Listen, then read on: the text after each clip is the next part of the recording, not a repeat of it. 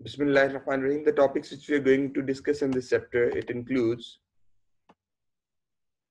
introduction of biodiversity or variety of life, binomial nomenclature, and names of different plants and animals according to the binomial nomenclature. ELP smart smart syllabus के according अगर आप देखें तो ये आपके syllabus का part भी है। चैप्टर में से जो वायरसेस के इंट्रोडक्शन है इंट्रोडक्टरी पैराग्राफ उसको एक्सक्लूड किया गया है।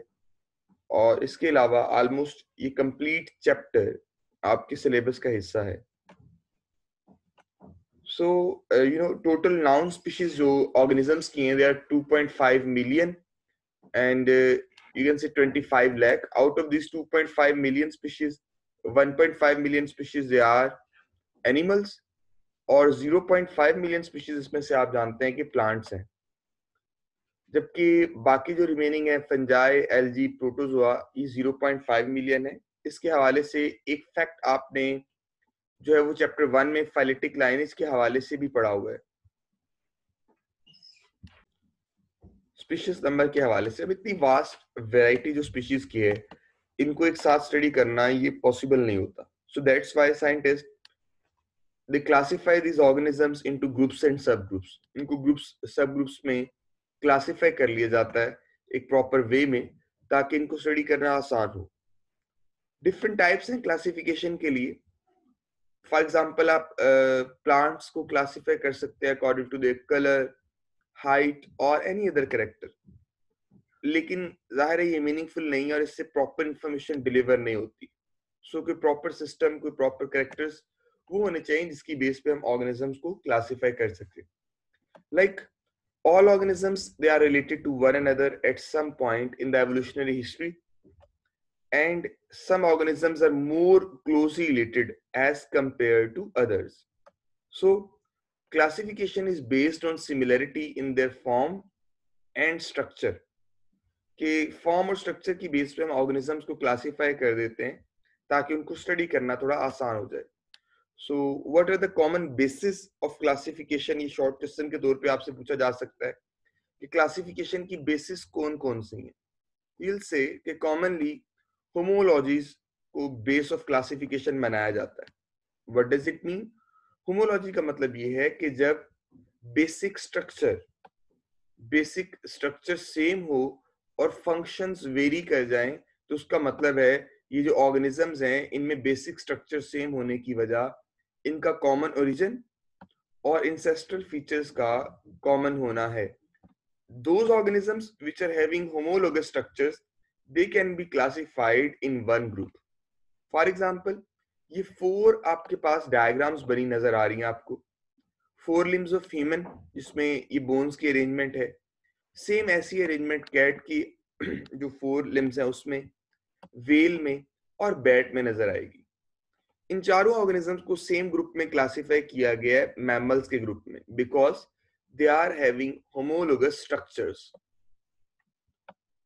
इनका बेसिक स्ट्रक्चर तो सेम है लेकिन ह्यूमन ग्रेस्पिंग के लिए अपने हैंड को यूज़ कर रहे हैं कैट रनिंग के लिए वेल जो है वो स्विमिंग के लिए और बैट फ़्लाइट के लिए अपने फोर लिम्स को यूज़ कर रहा है।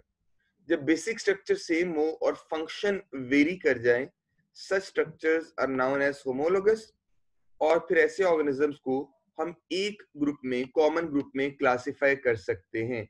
सो इट मींस कि होमोलॉजीज ये एक कॉमन बेस हो सकती है क्लासिफिकेशन के लिए। Second one is comparative biochemistry. Biochemical molecules such as DNA, RNA, proteins, nucleic acids, उनकी बेस पे भी हम ऑर्गेनिजम्स को कॉमन ग्रुप्स में क्लासिफाई कर सकते हैं। उनमें जितनी सिमिलरिटीज या डिफरेंसेस होंगे उस बिना पर। देन कम्स साइटोलॉजी कि सेल का स्ट्रक्चर प्रोक्रियोटिक है यूक्रियोटिक है या बाकी स्ट्रक्चर्स हैं उस बेस पे भी हम ऑर्गेनिजम्स को क्लासिफाई कर सकेंगे।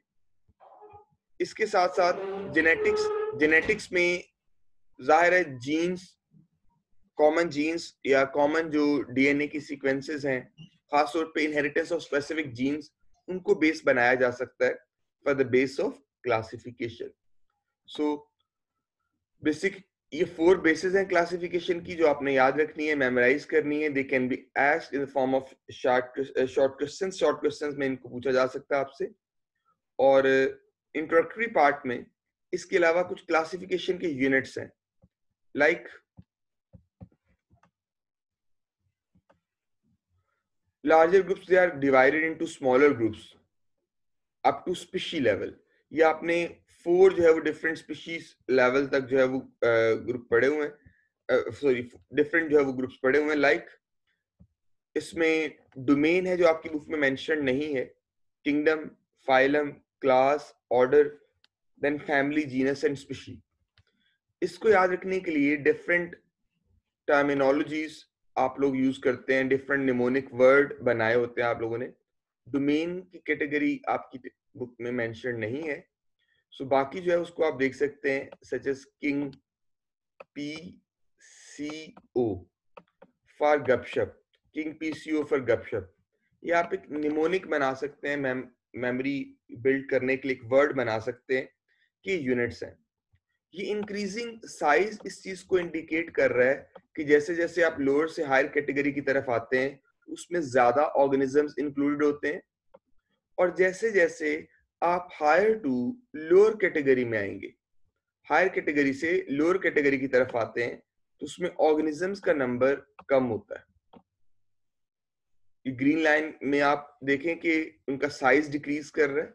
साइज़ डिक्रीज करने का मतलब उसमें इंक्लूडिंग ऑर्गेनिजम्स कम हो रहे हैं।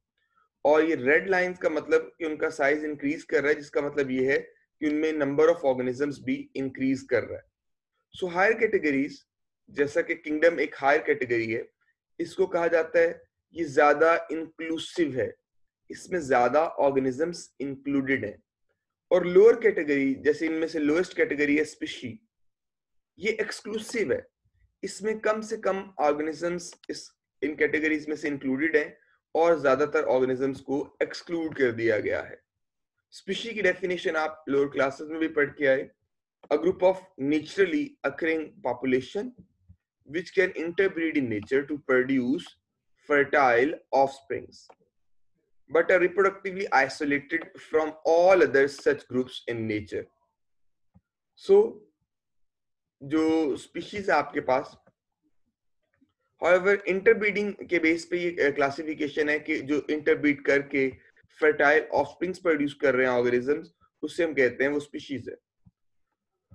वो ऑर्गेनिज्म जो इंटरब्रीड नहीं कर सकते, like asexually reproducing organisms, उनमें फिर हम क्या बेस बनाएँगे? On the basis of their morphology those organisms are basically classified उनको मॉर्फोलॉजी की बेस पे स्ट्रक्चर की बेस पे हम क्लासिफाई कर सकते हर स्पीशी के अपने स्पेसिफिक बेसिकली फीचर्स होते हैं स्ट्रक्चरल किसी इकोसिस्टम के अंदर इकोलॉजिकल बिहेवियरल जिसकी बेस पे वो दूसरी स्पीशीज के साथ वे, दूसरी स्पीशीज से डिफ्रेंशिएट कर, किया जा सकती हैं और वो स्पेसिफिक एवोल्यूशनरी यूनिट्स के तौर पे इवॉल्व भी हो रही होती हैं। So according to these categories different species they can not exchange their genetic material as well आपकी बुक में जो क्लासिफिकेशन गिवन है अप टू स्पीशी लेवल यह कॉर्न की, मकई की, या जी मेज जिसे हम कहते हैं। किंगडम इसका बेटे, अगर आप देखें that is Plantae division Anthophyta और ट्रेक्यूफाइटा एनिमल्स के केस में जो टर्म यूज़ करते हैं दैट इज़ फाइलम प्लांट्स के केस में डिवीज़न की टर्म मोर कॉमनली यूज़ होती है। Class angiosperm order Poales family Poaceae genus Zea and species is mays तो ये क्लासिफिकेशन के यूनिट्स हैं विद रेफरेंस टू एनिमल्स जो यूज़ किए जा रहे होते हैं. And as far as nomenclature is concerned आप लोग जानते हैं कि जो साइंटिफिक या बायोलॉजिकल जोलॉजिकल बोटेनिकल नेम्स रखने का तरीका कार है उसे हम कहते हैं नोमेनक्लेचर नोमेनक्लेचर डेवलप करना बाइनोमियल नोमेनक्लेचर डेवलप करना क्यों ज़रूरी था, ये आपसे पूछा जा सकता है एज अ लॉन्ग क्वेश्चन और a short question short question आएगा तो आप जस्ट पॉइंट बता सकते हैं लॉन्ग क्वेश्चन में आप एग्जांपल्स ऐड कर सकते हैं. बेसिक प्रॉब्लम ये थी कि इससे पहले कोई सिस्टम नहीं था ऑर्गेनिजम्स के नाम रखने का. And one organism was found to having different names. मसलन हम अनियन या प्याज की बात करते हैं, इसको डिफरेंट लैंग्वेजेस में डिफरेंट नेम्स दिए जाते हैं। As far as our local local languages are concern तो पंजाबी में इसके डिफरेंट नेम्स आप लोग जानते होंगे, गंडा बसल वसल प्याज, और इंग्लिश में आप इसे अनियन बोल रहे होते हैं। साइंटिफिक नेम जो इसका असाइन किया गया, आप पढ़े, पढ़ेंगे अभी, एलियम सीपा। और इसके अलावा अमलतास इसके भी डिफरेंट नेम्स हैं गरमाला golden shower purging cassia because अमलतास इसकी जो फ्रूट है लेग्यूम वो बड़े स्ट्रॉन्ग लेग्जेटिव्स हैं डाइजेस्टिव ट्रैक को स्मूथ करते हैं। और इसके अलावा थर्ड प्रॉब्लम ये डिस्कस की गई है same name for different organisms like blackbird blackbird एक ऐसा नाम है कि ये क्रो को भी रेफर कर रहा होता है और रेवन को भी। ब्लू बेल्स ये जो है ब्लैक बर्ड की एग्ज़ाम्पल अगर आप देखें तो एक क्रो और रेवन में थोड़ा सा डिफरेंस होता है बेसिकली रेवन की जो बीक है, वो बिगर होगी और कर्वियर शेप की होगी कर्व बनाएगी, इस तरह से। जबकि जो क्रोज है, इनकी बीक जरा स्लिम होती है और स्ट्रेट होती है, ये बेसिक डिफरेंस है। बाकी दोनों का कलर ब्लैक होता है मेनली और इसके अंदर आगे फर्दर स्पीशीज भी हैं। प्लांट्स में ब्लू बेल्स की कैटेगरी है। Dozen of plants bluebells में इंक्लूडेड हैं और उनको हम जो है वो सेम नेम दे रहे हैं। अभी आप नेक्स्ट स्लाइड्स में ब्लू बेल्स की पिक्चर्स भी देख लेंगे। साइंटिफिक बेसिस नहीं थी इन नाम ये जो नाम रखने का सिस्टम था, इसमें कुछ साइंटिफिक बेस नहीं बनाई गई थी। लाइक सिल्वर फ़िश ये एक इंसेक्ट है it's not a fish starfish एक अकाइनोडर्म है स्टार फ़िश भाई ये भी एक फ़िश नहीं है। And crayfish once again arthropod है क्रस्टेशियन है इट्स नॉट अ फ़िश और जेली फ़िश जेली फ़िश जो है, वो भी एक नाइडेरियन सिलेंट्रेट है फ़िश नहीं है। फ़िश की साइंटिफिक डेफिनेशन ये है कि एक वर्टिब्रेट होना है। वर्टिब्रेट होना चाहिए विद बैकबोन एक्वेटिक एनवायरनमेंट में रहने वाला organism with certain other features जो कि इन फोर एग्जांपल्स में नहीं है। सो so ये भी एक बड़ा इश्यू था। ये ब्लू बेल्स की पिक्चर आप देख सकते हैं।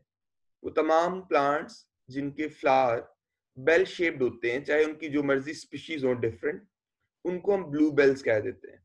ब्लू कलर बेल शेप तो ब्लू बेल्स हैं। ये जेलीफिश की डिफरेंट स्पीशीज हैं। ये भी आप लोग जानते हैं सिलेंट्रेट या नाइडेरियन है। It is not a fish तो कॉमन नेम्स में इश्यूज़ थे जिनको सॉर्ट आउट करने के लिए फिर बाइनोमियन नोमेनक्लेचर इंट्रोड्यूस करवाया गया। सर खैर जेलीफिश के हवाले से एक इंफॉर्मेशन और भी नोट कीजिएगा कि as far as length of organism is concern तो लेंथ वाइज जेलीफिश की टाइप है लाइंस मेन जेलीफिश जिसकी लेंथ ब्लू वेल उससे भी ज़्यादा होती है लार्जेस्ट वेल से भी ज़्यादा होती है। फिर बाइनोमियल नोमेनक्लेचर के हवाले से कैरलेस लिनियस का नाम आता है Carolus Linnaeus a Swedish botanist he devise a system for naming and classification for all the known organisms he took the scientific name from Latin word और उसने प्लांट्स के 1753 में नेम्स पब्लिश किए थे एनिमल्स के 1758 में। हर साइंटिफिक नेम के दो पार्ट से according to the Carolus Linnaeus rules पहला पार्ट जीनस नेम और दूसरा नेम जो है वो स्पीशी या स्पेसिफिक नेम को रेफर करता है। इसके अलावा अब भी उसके बनाए हुए बहुत से नाम इस्तेमाल होते हैं। अब दो वर्ड्स में से पहला वर्ड हमेशा जीनस को रेफर कर रहा था और दूसरा वर्ड हमेशा स्पीशी को। ये बड़ा इंपॉर्टेंट पॉइंट था इसका पहला। जैसे होमोसेपियंस में होमो जीनस को रेफर करता है और सेपियन स्पीशी को। पेंथेरा लियो जो एग्जांपल आप देख रहे हैं, इसमें पेंथेरा वर्ड जीनस को मेंशन करता है और लियो वर्ड स्पीशी को। अनियन का नेम एलियम सीपा, अमलतास Cassia fistula, man Homo sapiens potato, Solanum tuberosum, brinjal, Solanum melongena. ये साइंटिफिक नेम्स भी आप याद रखेंगे। एमसीक्यूज के हवाले से शॉर्ट क्वेश्चंस में पूछे जा सकते हैं। और जब भी कोई नाम लिखा जाता है, या तो उसको इस तरह से इटैलिक लिखा जाएगा, या आप अगर राइटिंग में लिख रहे हैं राइटअप में कर रहे हैं तो उसको लाजमी तौर पे आप अंडरलाइन करेंगे। that was all about today's lecture. Thank you so much.